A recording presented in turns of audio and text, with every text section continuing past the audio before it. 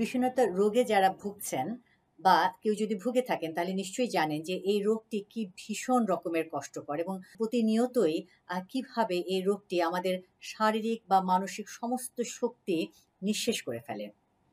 এবং এক্ষেত্রে অনেক সময় মনে হয় যে এই ভীষণ রকমের মন খারাপ বা ভীষণ একটা অন্ধকারাচ্ছন্ন সময় থেকে যেন একদম মুক্তি নেয় এবং কখনোই বোধ হয় এই রোগ থেকে আমরা ভালো হব না। কিন্তু আসার কথা হলো, চিকিৎসার মাধ্যমে কিন্তু এই বিষণ্ণতা রোগ আপনি সম্পূর্ণ রকমের ভালো হতে পারে কাজে আপনি যদি চিকিৎসা সেবা গ্রহণ করেন, মানসিক স্বাস্থ্য সেবা গ্রহণ করেন, তাহলে কিন্তু এই রোগ থেকে আপনি মুক্ত হতে পারবেন। আমাদের আজকের ভিডিওতে আমরা এই বিষণ্ণতা রোগ হলে আপনারা কীভাবে নিজেকে সাহায্য করতে পারেন এখান থেকে বেরিয়ে আসার, সে বিষয়ে আলোচনায় থাকবে। দেখতে থাকুন ভিডিওটি।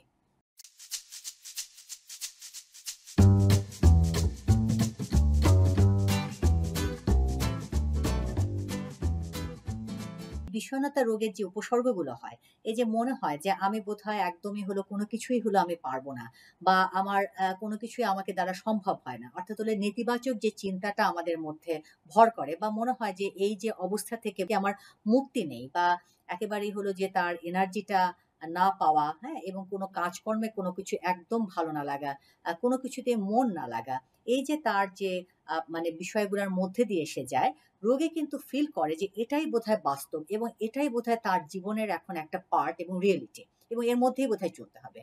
কিন্তু এই যে উপসর্গগুলোর কথা বললাম, এটা কিন্তু রোগের উপসর্গ ছাড়া আর কিছুই না। অর্থাৎ হলো যে এই যে আমার আত্মবিশ্বাসটা কমে গেছে, এই যে আমার মনে হচ্ছে যে আমি বোধহয় আগের মতো আমার কাজের বোধহয় আর তো দক্ষতা নাই আমি বোধহয় কোনো কিছুই আর পারব না, এটা কিন্তু একটা রোগের কারণে আপনার হচ্ছে। সত্যিকার অর্থে যে আপনার দক্ষতা, সত্যিকার অর্থে যে আপনার মেধা এবং আপনার যে কর্মক্ষমতা, সেটা কিন্তু আপনার আগের মতনই আছে। শুধুমাত্র এই রোগের কারণে আপনি এটা ফিল করছেন যে আপনি ঠিক এরকম করে পারবেন না। যেমন যদি আমাদের কারও ডেঙ্গু জ্বর হয়, তাহলে কি হয়? আমাদের শরীরের তাপমাত্রা বাড়ে, শরীরে সাংঘাতিক রকমের ব্যথা হয়, অনেক ক্ষেত্রে র্যাশ হয়। তো এগুলো যেমন জাস্ট একটা উপসর্গ ডিপ্রেশনও কিন্তু এই যে আত্মবিশ্বাস কমে যাওয়া, তার কোনো কিছু ভালো না লাগা, তার সবকিছুতে আগ্রহ চলে যাওয়া, সেটা কিন্তু উপসর্গ ছাড়া আর কিছুই না। কাজেই প্রথম আপনারা যে জিনিসটা আপনার মনের মধ্যে রাখবেন যে ডিপ্রেশনের কঠিন একটা সময় আপনি একটা খুব একটা ফেস আপনি পার করছেন, একটা পর্যায় জীবনের, একটা কঠিন পর্যায়ে আপনি পার করছেন এবং এটা এক সময় না এক সময় শেষ হবেই এবং আপনি যেহেতু চিকিৎসা নিচ্ছেন, এখান থেকে আপনি একদম ডেফিনেটলি বের হয়ে আসতে পারবেন। আপনার অপেক্ষা করতে হবে হলো ভালো সময়ের জন্য। কাজে এই মানসিক শক্তিটাও কিন্তু খুবই গুরুত্বপূর্ণ এবং যখনই আপনার কাছে হতাশ লাগবে, খারাপ লাগবে, আপনি নিজেকে কিন্তু নিজেকে রিয়াশোর করা যে, আমার এখন আপাতত আমি একটা মানে রোগের কারণে আমি এই উপসর্গগুলো আমি ফিল করছি, কিন্তু আমি এখান থেকে এক সময় বেরিয়ে যাব। দ্বিতীয়ত হলো যে, এখানে একদম কিন্তু খুব লেথার্জি লাগে বা একদম মনে হয় কোনো শরীরে কোনো শক্তি পাওয়া যাচ্ছে না, কোনো রকমের কাজের কোনো উৎসাহ পাওয়া যাচ্ছে না। যখন এই শক্তিটা না পাওয়া যায়, তখন আমরা কি করি? বিষণ্ণত রোগে কাজ থেকে কিন্তু নিজেকে আমরা গুটিয়ে রাখি। তো যখন আমরা কাজ থেকে গুটিয়ে নিই, তখন আবার এক ধরনের চিন্তা কাজ করে যে আমি আসলে তো কিছুই করছি না বা আমি সত্যি সত্যি কোনো কিছু পারব না। অর্থাৎ হলো আমাদের যে এই যে নেতিবাচক যে চিন্তা আমার নিজের সম্পর্কে, সেটা কিন্তু একভাবে আমাদের বিহেভিয়ারকে প্রভাবিত করে। অর্থাৎ আমাদের যদি মনে হয় যে আমি ঠিক কাজটা আগের মতন পারব না, আমি বোধহয় রান্না করতে পারব না, আমি বোধহয় আগের মতো আমার দক্ষতা নেই এটা কিন্তু এক ধরনের এই চিন্তাটাই আমাদের একটা মনটাকে কিন্তু ছোট করে দেয় এবং মনটা কিন্তু খারাপ লাগে এবং আত্মবিশ্বাসটা কমে যায়। যখন আপনার মনটা ছোট যা হয়ে যাবে, আত্মবিশ্বাসটা আপনার, আপনি কমে যাবে, তখন স্বাভাবিকভাবেই আপনার যে কর্ম উদ্দীপনা সেটাও কিন্তু অনেকখানি কমে যাবে এবং ঠিক কাজের ঠিক উৎসাহটা আপনি পাবেন না এবং শরীরে কিন্তু একটা লো এনার্জি আসলে এটার সাথে সাথে, একটার সাথে আসলে এক ধরনের লিঙ্ক ব্যাপারটা কাজ করে। যে যখন ডিপ্রেশনে হয় মানে আমাদের এই শরীরে খুব নিষ্ক্রিয়তার কারণে, নির্জীবতার কারণে কিন্তু সারাক্ষণই হলো শুয়ে থাকতে ইচ্ছা করে। কিন্তু যত বেশি আপনি শুয়ে থাকবেন, যত বেশি আপনি গুটিয়ে নেবেন, তত কিন্তু ডিপ্রেশনটাকে আপনাকে অনেক বেশি আপনার মধ্যে হলো একেবারে চেপে বসবে।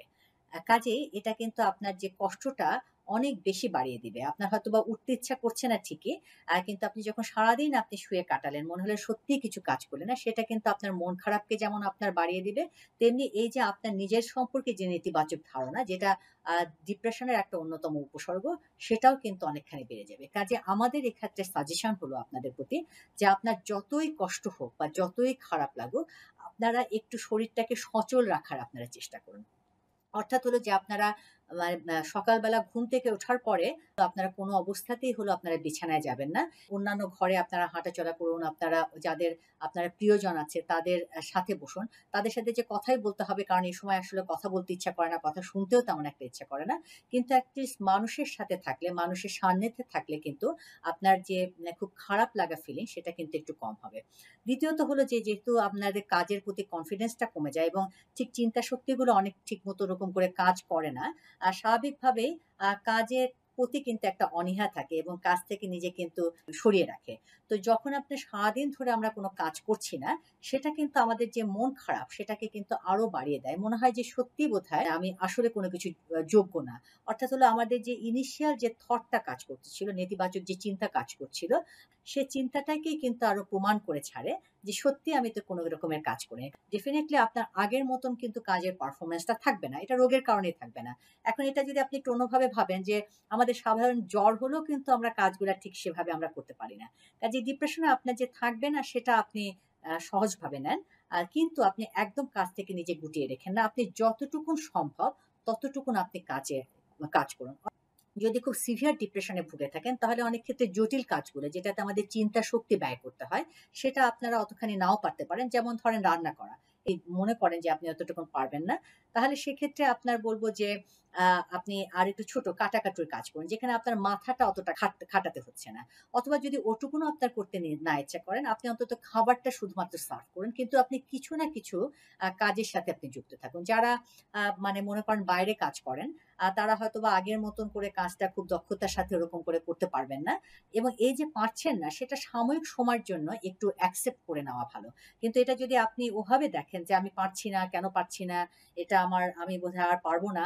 সেভাবে আপনি না দেখে যখনই আপনার এই চিন্তাটা মাথায় আসবে আপনি নিজেকে নিজে বলুন যে আপনি এখন একটা রোগের মধ্যে আছেন, কাজে সেটা স্বাভাবিকভাবে আপনি পারছেন না। এটা সাময়িক সময়ের জন্য এবং এটা ঠিক হয়ে যাবে। তবে হলো যে একেবারেই হলো অফিসটা বাদ দিয়ে, দিয়ে অনেকে বাসায় থাকে। আর সেটা আমরা বলব না করাই ভালো। কারণ এই যে আপনি বাইরে যাচ্ছেন, বাইরে যাওয়ার জন্য আপনার একটু ড্রেস পড়তে হচ্ছে, চেঞ্জ করতে হচ্ছে। ঘর থেকে বাইরে বেরোনোর জন্য কিন্তু শরীরটাকে যথেষ্ট পরিমাণে আপনাকে সচল করতে হচ্ছে, মুভমেন্টের মধ্যে থাকতে হচ্ছে। সেটা কিন্তু আপনার জন্য কিছুটা হলেও হলো ভালো। মানে একেবারে ঘরে বসে থাকার তুলনায় সেটা কিছুটা ভালো।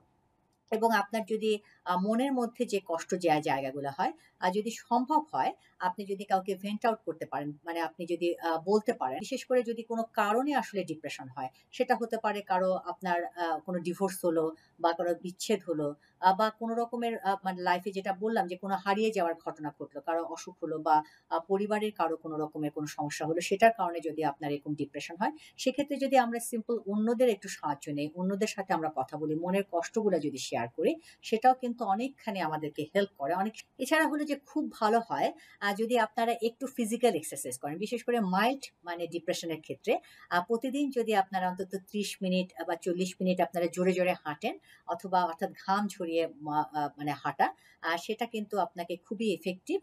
তবে এটা যদি খুব সিভিয়ার ডিপ্রেশন হয় তখন অনেক খুব বেশি কাজ করে না। কিন্তু আপনার সিভিয়ার বা মডারেট ডিপ্রেশনেও যদি আপনি চিকিৎসার পাশাপাশি আপনি রেগুলার এক্সারসাইজ করেন, রেগুলার হাঁটেন, সেটা কিন্তু আপনাকে এখান থেকে একটু বেরিয়ে আসাটা ডেফিনিটলি একটু ত্বরান্বিত করবে। এর বাইরে যেটা আপনারা করতে পারেন, আমরা সবাই জানি যে ব্রিথিং এক্সারসাইজও কিন্তু আমাদের মানসিকভাবে অনেকখানি একটু ভালো করতে সাহায্য করে।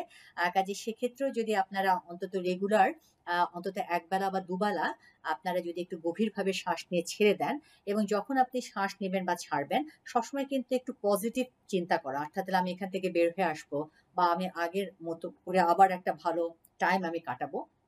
সেই জায়গাটা যদি আপনারা একটু করতে পারেন, তাহলে সেটা কিন্তু আপনি দেখবেন আপনাকে একটা পজিটিভ ফিলিং দিবে। আ ডিপ্রেশনে যেটা হয় যে আমাদের যে থটগুলা মানে আমাদের চিন্তাগুলা সেটা কিন্তু খুব অটোমেটিক্যালি হলো আমাদের নেতিবাচক জিনিস কাজ করে। অর্থাৎ খারাপ চিন্তাগুলা এবার আমার নিজের সম্পর্কে নেতিবাচক চিন্তাগুলাই কিন্তু স্বতঃস্ফূর্তভাবে আমাদের মাথার মধ্যে অনেক সময় চলে আসে। তো এই চিন্তাগুলা কিন্তু আবার আমাদের এক ধরনের আরও মনটা খারাপ করে এবং সাথে আমাদের এনার্জিটা আরও কমিয়ে দেয়, আমাদের কাজের উৎসাহ কমিয়ে দেয়।